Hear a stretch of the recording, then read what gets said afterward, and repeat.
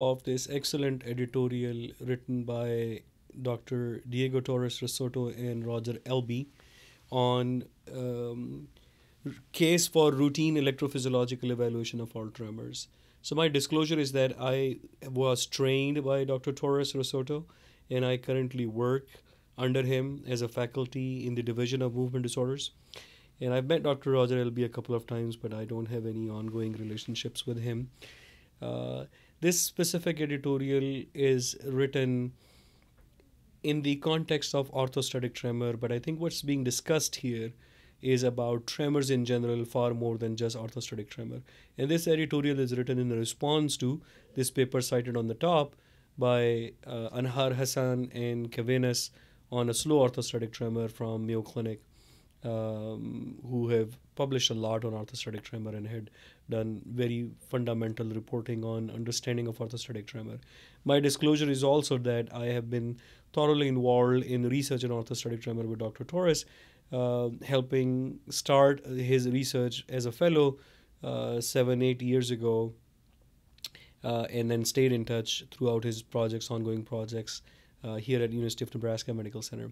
So I will be talking uh, in this editorial more on my impressions and opinions, and I'll be jumping back and forth. And rather than providing uh, providing a detailed review of the paper or the editorial itself, uh, so you know, I would refer you to read the paper if that is a subject that interests you. But I think more interesting to me is this general idea of electrophysiology of a tremor. So orthostatic tremor, for people who are not familiar with it, is a rare syndrome, extremely rare syndrome that uh, was recently described as late as in 1960s and consists of this sensation of unsteadiness when the patient stands which gets better if the patient can touch something or hold something or if the patient starts walking. So this is one of the highly unusual thing is that the sense of instability or sense of fall that the patient has actually gets better when they start walking which is completely opposite and paradoxical for all other balance problem where the balance is worse on on walking but the patient feel actually good when they're walking and and they actually feel better walking faster which is also highly unusual so that is what is very interesting about it. It is also very different than all other tremor syndromes in the sense that the current consensus criteria for di- diagnosis of orthostatic tremor requires a presence of a fast tremor in the legs measured by electrophysiology.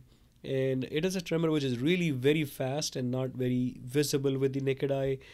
And not only that, the whole point of debate in this editorial is this idea of this by convention or by original definitions this frequency range that was assigned for the diagnosis of orthostatic tremor so orthostatic tremor uh, by definition has a generalized high frequency of 13 to 18 hertz this is extremely fast this is the probably the fastest possible uh, frequency based on the human physiology. So a human cannot have a frequency faster than 18 hertz. 18 hertz frequency of a tremor in the leg means that the leg is shaking 18 times every second. Well, typically the whole leg doesn't shake, and it's more of a vibration that is going on in the muscles or on the surface of the of the leg, which is picked up on EMG. So muscles are vibrating at a frequency of 13 to 18 hertz, contracting that fast, and that generally doesn't create enough of an amplitude or movement of the legs to be visible. And even if there is a visible component of the tremor it's typically not the fast one. So you cannot see a fast frequency of 13 to 18 hertz on the legs. So with that background it's also interesting to note that there is an occasional subharmonic peak and harmonics are that if there are long standing fast waves then they create a, another wave on top of this fast wave which is a slower wave which is considered subharmonic um, and it is typically seen at a half the frequency or even one third of the fundamental frequency. And it's a natural characteristic of any standing wave or any ongoing wave that they will have a subharmonic, and that is often picked up in orthostatic tremor. Now, the point I will keep coming back to in discussion is this 13 to 18 hertz range. Why 13 to 18? Who came up with that? And in the literature, there have been frequencies reported faster than 18, which is not addressed in this editorial. So, a frequency all the way up to 20 hertz have been reported. And there are definitely tremor reported with frequencies less than 13 hertz, even 12 and 12 and a half hertz. So what do you do with those? What are, what is a 12.5 hertz frequency tremor? Is it primary OT or is it not? And that's what is being debated here in this editorial because of this paper that was written up on this definition of a new syndrome which is being called slow orthostatic tremor. So a slow orthostatic tremor has been defined as a frequency of a range of 8 to 12 hertz and that is now too slow to be in the range of 13 to 18 which is the high range of orthostatic tremor and they are saying that slow orthostatic tremor is a separate entity but has an overlap with primary orthostatic tremor and now that's what creating this debate on what does the frequency of a tremor mean how reliable that are that is in terms of a diagnosis. If it if it is the main feature of the disease if the main feature of the disease is the frequency itself then a lot of our diagnoses that are being made clinically right now become less and less reliable. And a lot of diseases that we are just lumping together as a single disease such as parkinson's disease essential tremor may actually be found out to be separate diseases or syndrome if we were to go by the frequency of the tremor that the patient have and say that that's the more essential feature of a disease rather than the clinical syndrome or the presentation and associated symptoms and so on and so forth. So that's what being debated here. Another point I want to point out here that I will come back to is the free, is the tremor coherence analysis. Coherence. Coherence is this idea that the tremors are of same speed no matter where they are in the body so that they are coherent so that they may not be in phase. In phase tremor will be that if a peak happens in one side of the tremor, because you know tremor is an oscillation, there is uh, ups and downs on the tremor. So if if uh, um, uh, uh in phase tremor will have peaks at the exact same time in different areas of the body, let's say two legs, while coherence doesn't require to be in phase, doesn't require to be in sync. A coherence basically says that the the peaks happen on their own times, but they are always have the same consistent difference between each other. So they are of the same exact speed. And that's another feature pointed out here that a bilateral EMG coherence in the legs is a unique feature of orthostatic tremor. It is not a characteristic that's seen in other tremors. So if you have a tremor in the leg of essential tremor, which is extremely rare, or Parkinson tremor, and you put EMGs on both of the legs, the tremors will vary in their difference between the two legs in a variable fashion so that they're not coherent they're not happening at the same time um, you know which creates interesting physiological debates on the origin of the tremor. So after pointing those two things out uh, i'm going to go on and say that the uh, the edi- editors uh, writing this editorial are um, basically discussing why the authors thought that the slow OT and primary OT are similar but separate condition and they talk about five patients reported in the original in the slow OT paper which were considered as slow OT but they should not have because they actually exhibited classic high frequency primary OT with subharmonic which was slow. So the slow OT was not the true tremor. It was a subharmonic of the true tremor and true tremor was fast and that's why they were actually primary OT and not slow OT at all and the subharmonics in OT are important, as I mentioned earlier, because the low frequency of oscillations are the one, the subharmonics maybe, or the actual low frequencies are the one that are actually visible. So, uh, in my review of the literature, a third of the patients that have been reported so far, about 30% or 28%, actually have a visible report of, of of a visible tremor, of a leg shaking or a knee shaking. And our work earlier on on digital enhancement of videos of patients have shown that the tremor really is hard to see unless it's amplified and you cannot really tell the patient is having a tremor in the leg but it, it, it is because that the the low pass filtering properties of skeletal muscles will cause less attenuation to those low pass tremors, low low frequency tremors, while this low pass filter will filter out any high frequency movement. And that's the natural skeletal muscle properties uh, of the legs themselves. They will just amplify the low frequency tremor and they will suppress a high frequency tremor uh, in terms of physical manifestation. Now, another interesting point noted here, which I want to bring up related to orthostatic tremor in this whole debate, is that a 13 to 16 hertz tremor in the leg can be seen. Now, they're not calling it tremor, they're calling it an EMG burst here, technically. That can be induced in a normal person who doesn't have tremor by creating something that threatens their balance. So, by either having them lean backward on a platform or having them stimulated that induces a sense of movement. That's the vestibular galvanic stimulation. So, they feel like they're falling. And when they feel like they're falling, that's when they have a fast uh, tremor burst or fast EMG burst in the leg, which looks like the tremor in OT. Now, it's interesting to see that on EMG, the tremor analysis is very complicated. And that's something that's also not discussed in this editorial here, but is of interest to know that the, the tremor actually is a burst of EMG activity. So it's not a single EMG contraction. Uh, contraction. It's an EM, multiple EMG contractions that are happening so close together that they create a single movement. And that movement, a physical movement to one direction, is what a tremor is, and not the individual muscle contractions. Uh, so it, it's a visible manifestation. Now that EMG burst is typically very fast. EMG burst frequency may be 200 hertz or 250 hertz or 150 hertz. So the individual EMG spikes of the muscles are very small, very thin on the time scale, very very quick, and they're gone.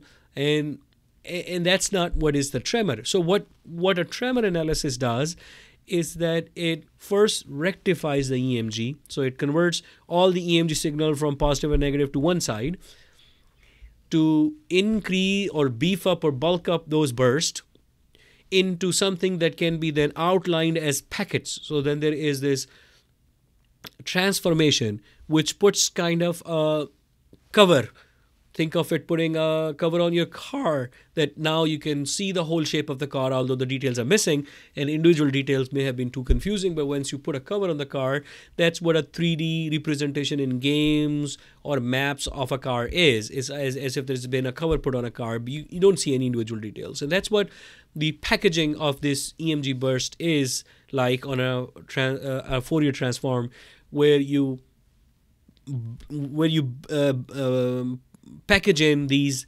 bursts into multiple packages and then you measure the frequency of these packages and these packages frequencies actually it's not a single frequency it's not that someone is having a 16 hertz tremor they have only 16 hertz packages firing very uh, nicely and cleanly on that EMG after Fourier transform. No, that's not the case. You then plot these packaged bursts onto a frequency scale and you weigh them, you put weight on each frequency of how much power of or how many packets are you seeing at that frequency. So maybe you're seeing 7 at 2 hertz, you'll be seeing 9 at 4 hertz, so on and so forth until you see 150 packages on 15 hertz. So what you get is this graph like like this although this is not the graph on this is a graph for coherence but in this graph you can see that there is these weightages of all these different spectras the uh, uh, weightages of all these packets of bursts of EMG at various frequencies until you reach a point which has a broad base and a sharp peak that this peak is where the most of the EMG burst activity is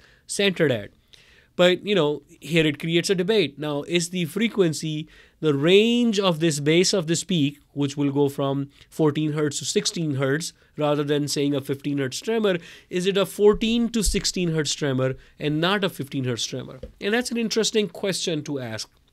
Because if you review papers on orthostatic tremor, you will see actually many papers report a range of the frequency and not the frequency itself. They don't give the peak because maybe the peak in itself is meaningless and it's the broad base of the range that matters. So let's say if someone says they have a 12 hertz tremor or 11 hertz tremor, is it a 11 hertz tremor or is it a 10 to 13 hertz tremor with a peak at 11 hertz? So the question is this range of 13 to 18 hertz, is this the range of the peak? And or is it is it that we should be looking at the range of the base of that peak, which is much broader, and some patients may have much more broader peak than others. So a peak may, uh, a base of this peak may be much narrower within half a hertz frequency for some patient, but be much broader, maybe two hertz or three hertz of a range of frequency some patients. So is it the base of that peak? That matters or is it the peak that matters? See, all these interesting debates that get that, that would come up if we start looking at the electrophysiology of tremor as the most significant component. Anyways, coming back to this editorial, they also talk about the absence of a well designed multi-central trial that has defined this 13 to 18 hertz and it was just a, conven- a, consensus that the committee or task force came up with based on their review of the literature and discussion and personal biases. So it may be a biased range even for the peak. And what if the peak doesn't matter? It's the base that matters. And if if, if you are going to define someone by their base then how can you say that the 12 hertz is actually a slow AT and not a fast OT because the 12 hertz peak may have a base of 11 to 13 hertz. And maybe the peak was not in 13 hertz, but the base was because it's a broad peak, you know. And how broad is the peak? How broad of a peak can you tolerate? And we know of these patients in orthostatic tremor syndrome component where the frequency actually is hard to pin down. So, what is that resolution that you can reach the peak based on this kind of a power spectral analysis of the EMG burst after Fourier transformation? So are you getting a resolution of 1 hertz? So you can either tell a 12 hertz tremor or a 13 hertz tremor, but not in between. Or are you getting a 0.1 hertz resolution that you can tell it's a 12.6 hertz tremor or it's a 12.4 hertz tremor? Can you get a 0.01 hertz of a resolution? I don't think so. Not with the current technology, or maybe not physiologically not possible. So you cannot say a patient is a 12.56 hertz tremor or 13.26 hertz tremor. And again, this may be meaningless because we are talking about peaks here and not the broad base of that spike that happens. And the broad base will be you know much more wider. So that resolution doesn't even matter. So if you you can say the peak was 13.79 hertz but it doesn't matter because the base was 11 to 15 hertz was a really broad base. And how sharp was the peak was the peak even sharp? So if you look at this graph here, you will see that the peak is actually not sharp. Even the peak itself is almost half a hertz or one hertz broad. So are you taking the center of the peak now, which is not a sharp peak anymore, as the frequency of this tremor? Maybe the frequency is the broad width of the the apex. Maybe you actually never get a peak in some of these cases when you do this uh, Fourier transformation and, and analysis. I don't know. Maybe you can, maybe you don't. I don't think there's any data on that. So that then leads to this whole discussion on okay, if tremor frequency is significant for orthostatic tremor, is it only significant for orthostatic tremor? Are we going to start splitting orthostatic tremor into groups like fast OT, slow OT, intermediate OT because of these peaks on this uh, Fourier transformation? Or are we going to also do it for other diseases? So, how about Parkinson's disease tremor? We can have a slow tremor Parkinson, a fast tremor Parkinson, intermediate tremor Parkinson, and so on and so forth. So, it's a large Pandora box that can be opened. And then the edit- editors also opened up an even bigger Pandora box without thinking about it, that they said that most smartphone contains motion transducers with inertial measurement. Now, motion transducer is now actually picking up the motion itself and not the electrophysiological frequencies, which means that they're not using the method used on EMG to create the peaks by using EMG bursts and then Fourier transformation to create packages out of it and then doing a power spectral analysis of those packages frequencies to see which packages are at what frequency they it's being bypassed all of that and now the motion being picked up and maybe there is a similar but a different mechanism being done by the motion transducers and the smartphone applications by putting this together to create a Fourier transformation but not they are not getting EMG bursts anymore. They're looking at the physical motion and we already know that there's a low pass filtering being done by the skeletal muscle itself for those EMG bursts. So the low frequency burst will get more weightage on motion because of that low pass filtering as compared to high frequency bursts which will get less weightage because of the pass filtering. And then you will have a twisted result on the motion transducer. Maybe it's not a huge difference. Maybe let's say it's a difference of 1 hertz. So if an emg picks up a 16.5 hertz tremor at a peak then the motion transducer will pick up a 15.5 hertz tremor peak, but that one hertz difference will become significant at the borderline. If you're going to define a sharp border of 13 hertz as the border for orthostatic tremor from primary to slow OT or pseudo OT, then what if the tremor was 13 hertz on EMG but was picked up on motion transducers as 12 hertz? All of this is hypothetical debate because none of this information is available for us. So here's my take on this editorial and this concepts of electrophysiological analysis.